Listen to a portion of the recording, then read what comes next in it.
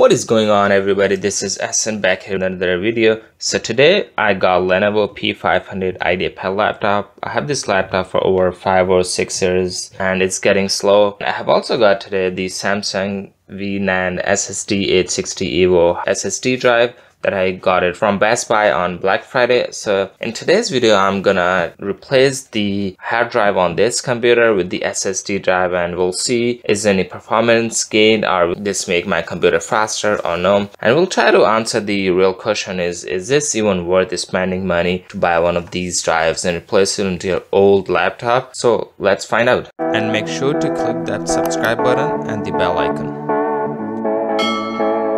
It's actually not mine, this is my sister. She's been using it for school but complaining a lot about this laptop is getting slow. The specs on this laptop is not that great either. It got 6 gigabyte of RAM, i5 processor, third generation, the clock speed of 2.6 gigahertz so this specs is not that great but computer is getting slow and we might benefit this laptop with replacing with this SSD drive. So now I will show you guys how long it's gonna take this laptop for boot up from the very beginning and to the end to the desktop screen or opening a Chrome from the very start. So I'm gonna press these two at the same time and we'll see how long would it take.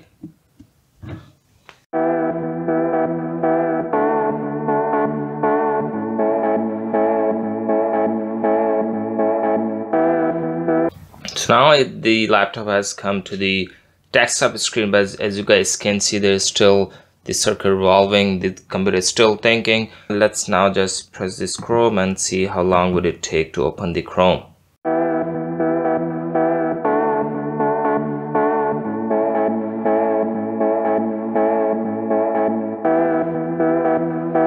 as you guys still see three minutes for this laptop to start from the very beginning. Even if i open word document on the left let's see how long would it take. So i'll just put 10 second buffer on that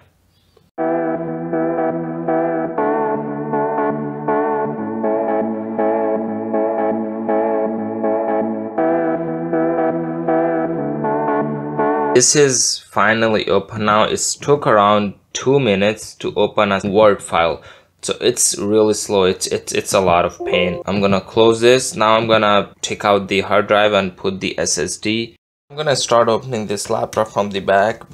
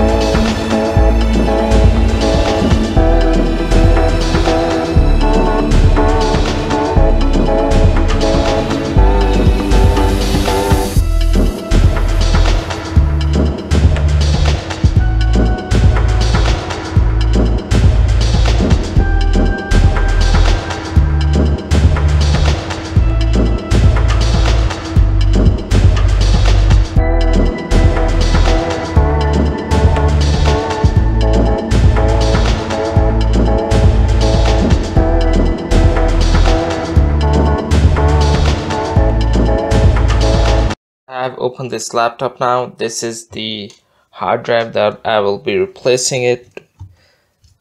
Just need to open these two. You have to be careful with these things. Push it back like that. So this is the hard drive that I'll be replacing. This one is the one terabyte drive. So perfect. I'm gonna take this out and now I'm gonna open this new SSD drive let's see what this one has to offer this one worth it or no. Perfect. The packaging is not bad. So here it got a user manual I don't care. Here's the actual hard drive. Perfect. This one is much lighter than this old hard drive. Very lighter so I'm gonna use this one put this into the computer now so the hard drive is done. I have installed it properly so I'm gonna put all the things back now. So guys I have done installing the SSD drive onto this computer.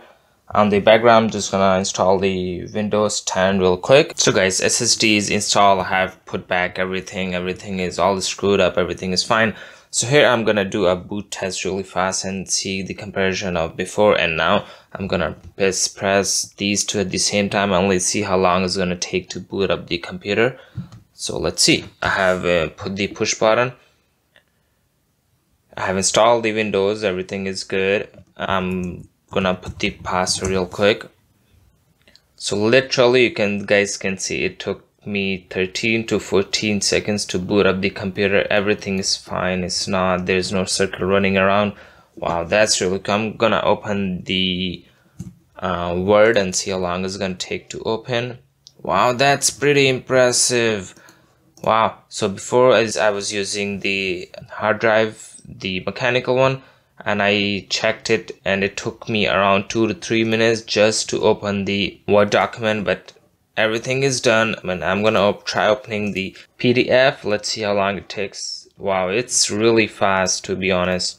And how about the Chrome? It's really fast. Wow there's a huge difference. I would highly recommend you guys to put these SSD drive. There's a big difference. Literally it took around 10 to 8 seconds to boot the computer up. So what I'm saying is there's a huge difference if you put the SSD drive it feels like a whole brand new computer. I can't stress enough to guys get one of these ssd drive. These are not that bad it's cheap. I got this 500 gigabyte for 84 dollars but I got the higher version of it, it's 500 gigabyte, but if you put 250 gigabyte, that comes around 45 bucks Canadian. So that's pretty cheap. Any old computer sitting in your house to a brand new computer and makes it much faster. So thank you guys. I hope you guys like this video. If you guys do, please give this video a huge thumbs up and see you guys in next video.